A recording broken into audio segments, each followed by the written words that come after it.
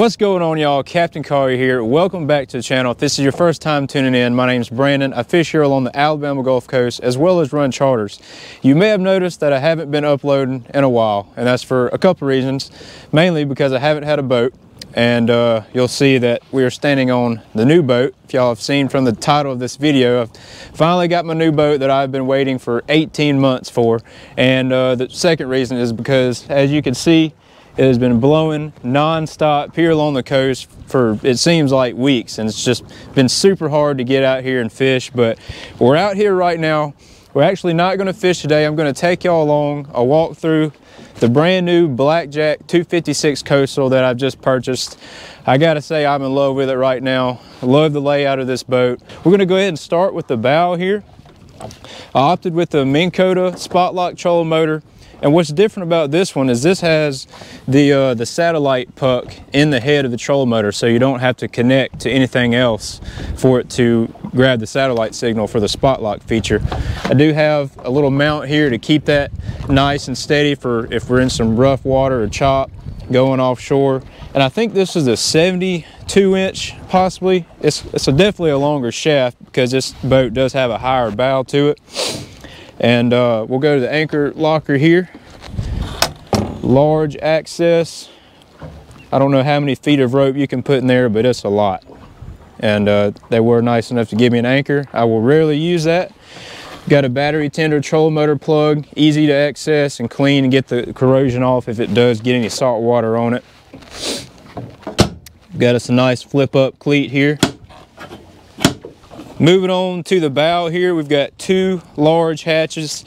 All the hatches on this boat are insulated, which is very nice, so you can kind of put fish or drinks in. I will probably use one of these hatches for fish. You can see right now we just got some tackle bags and whatnot in there. They all have courtesy lights in the hatches. really really big hatches. You can you can fit a lot of fish in there a lot of ice and uh, long fish too. So whenever we go offshore we can put king mackerel amberjack wahoo. Hopefully we can get on some of those this year and put those in there no problem unless we just get an absolute giant.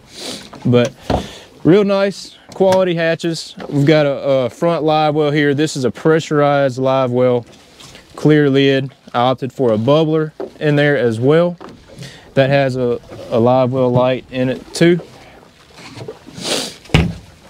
Got a, another hatch in the in the deck. This hatch doesn't look very big, but it goes back a pretty good ways. This one's insulated as well. This will probably be the hatch that I put most of my fish in on my trips. And as y'all can see, there are plenty of rod holders along the gunnel here. We've got two on the bow, two right here. I think we counted 36, 37 rod holders all together on this boat, which is fantastic. You don't have to worry about not bringing enough rods. You can just bring them all, have something rigged up for everything. And these two right here on each side are actually for backrests. I did not go with that package for this boat. You can put cushions on the bow here. Y'all, this is a fishing boat. We go fishing, so there's no need for that uh, you know, like I said, this is a fishing boat, so we didn't need it. We've got cup holders here. We've got some access hatches, saltwater wash down hose here. This is really nice. Got plenty of pressure. and Get all the blood off the deck. Got two, I think these are 7.7 JL subwoofers up here. This boat's rigged out with a, a nice JL audio package. I've got an amp powering these two speakers and then also the four in the top. Got two here and two in the back back there. We've got spreader lights on the T-top, front and back. One here on the bow, there's two on the back. Moving on to the console here. So this is the large center console on this Blackjack. This boat actually came with a 75 quart Yeti cooler. Um, huge, huge cooler. I'm not used to having a big cooler. You can put a ton of drinks and food in there. And this cooler actually slides out. It's got a pin here you can pick up You just move that cooler out of the way. You've got easy access to your center console here. And y'all check this out. This is one of my favorite features of this boat right here. When I ordered from Metro Boating in Harvey, Louisiana, they are known for their great wiring. And tell y'all what, they did an excellent job at the wiring in this boat. Everything is just so neatly organized, labeled. I've got three batteries for the 36 volt Cholo motor. This is the house and starting battery, and you actually have the option to pull power from one of these batteries in case that one gets low to start your engine. But yeah, really great layout. Easy to get to if you do have to change any fuses or reset any breakers. Really, really love it. And then also we have a little lift up hatch here where I've got my Cholo motor charger and I believe this is the power yeah the power steering pump is right here on this side and uh, you can also fit some some other stuff in here if you need to just for storage purposes. Let's go to the back of the boat. So as mentioned before we've got a ton of rod holders. We've got four on each side. Hole in the t-top so the rod tips can go through all right, so moving on to the helm, I've got this boat rigged up with just about everything you can think of and that I use out here on the water all the time. So went with twin 12 inch Simrad units. These are NSS Evo 3s. It's gonna take some time to get used to learning these, uh, these units here. They've got a lot of features, a lot of options, and um, I've got two transducers. I've got a three in one side scan down imaging transducer and then I also have a through hole transducer. So one kilowatt B175 high wide for whenever we go offshore. You can really make out what's on the bottom and uh, actually read depth in deep water and I'll get to that whenever we move to the back of the boat. But we've got the twin screens here. We've got our power poles which is what's holding us in place right now in the back. I've never had power poles before but I can tell y'all from the little amount of time that I've been using this boat, I'm in love with them and it's game changer out here inshore at least. This boat with the Mercury 300 came with a uh, screen here, shows all your gauges, your speed, your fuel, and some other cool features for this motor. We'll, we'll talk about that a little bit later. Got a hydraulic jack plate. I believe this is a Bob's jack plate. Uh, you can raise it up in shallow water, six, up to six inches. We've got our Lenco trim tabs here. JL audio system, as mentioned before, this is the Media Master 50. Uh, you, everything on this dash is connected via NMEA 2000 system, so you can pull up your audio here. You can play your music. You can actually pull it up on your Mercury screen here, and uh, just everything's connected. Uh, we got our VHF here, Simrad, again. And this boat actually went with autopilot. So I've got my autopilot pump in the console. The trips that I've been making offshore with other people, most of them have autopilot and it's just game changer out there to just set it to a point and just let the boat drive itself. Obviously paying attention to where you're going, but you don't actually have to manually drive the boat. And so that's gonna be a nice feature for us. We've got all our rocker switches here. We've got the horn, nav lights, bilge. I actually have two bilge pumps in this boat in case one goes out. Our live well lights, pretty self-explanatory. Got our steering wheel. This is a digital throttle for the motor. And I'll tell y'all what, this throttle is really smooth. Tanner's holding the camera behind us. He about threw me off the boat about five minutes ago trying to put us in reverse. And uh, it's got a push start. You can push start it or you can use the key to start it as well. And uh, what's really cool about this motor is it has two, uh, I guess, sounds to it. It's got a sports exhaust mode and it has a eco or normal motor mode. And so I'm gonna go ahead and start this engine for y'all and let y'all see the difference. It's, uh, it's got more of a throaty sound to the sport exhaust mode. So we're gonna go ahead and start it on the not as loud mode.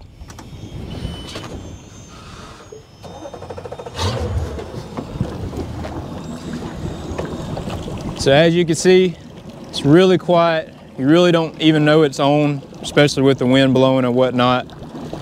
And so we're gonna go ahead and swap it over to the sports exhaust mode.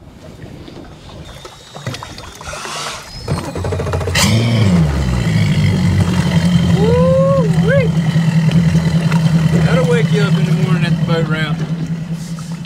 So that doesn't really affect the fuel economy or anything. That's just something cool you can do at the ramp, I guess, to impress your buddies and show the sound. But here's the sport exhaust mode. You can just turn it on and off right there. You've got all kinds of functions there. So moving on to the backrest here, this lifts up It's got a little button you can lift up. Plenty of storage space. I've got my GoPro stuff in here. I've got leader material, jigs, knives. Good little spot there just to put anything you want to keep dry, wallets, keys, and whatnot. You also got a little hatch here. This is where I'll be putting most of my chart plotter covers and radio covers and VHF covers and stuff in there. But you do have room if you want to put maybe a small purse or wallets in there. Going to both sides of this leaning post here. This boat came with four Plano boxes on each side. Put all your tackle and stuff. I haven't quite rigged them up the way I want just yet, just because I haven't made many trips on this boat. But I do love that you have plenty of easy access to all your tackle.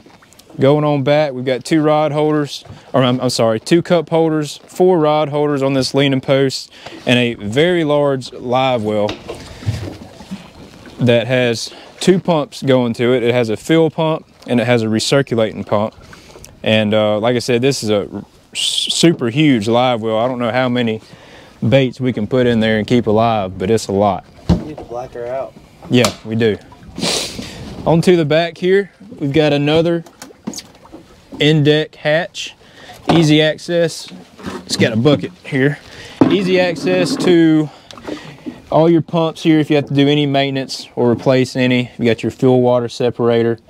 Uh, and this is the Airmar B, I'm sorry, the SS175 high wide through hole transducer that we're going to use when we go offshore and stuff. And uh, just super clean, still got that new boat smell. And it came with a bucket, so that's cool put your casting in there if you need to. We've got three hatches in the back back here. Open these up. These are the power pole pumps. I don't think there's any maintenance really that you have to do with these, but got plenty of space if you want to maybe put some offshore weights and stuff in the back back here, or I guess you could probably put life jackets as well. All right, moving on to the motor here. I've always been a Yamaha guy, never had a Mercury before, but I've heard some really good things about this motor, and so far, the amount of time that I've used it breaking it in, I'm really impressed with this motor. This is a V8 300 horsepower Mercury Verado.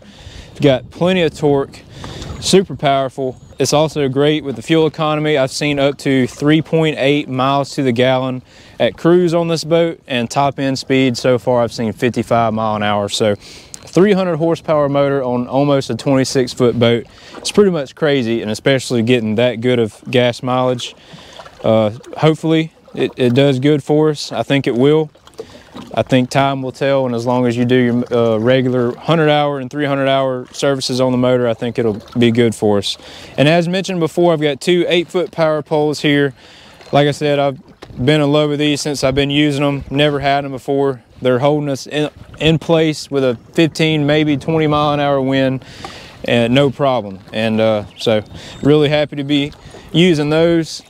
Got a nice little ladder here for them days we go to the beach or if I have any divers that want to go off accidentally out of the boat and get back in, you got a ladder there that folds in and out.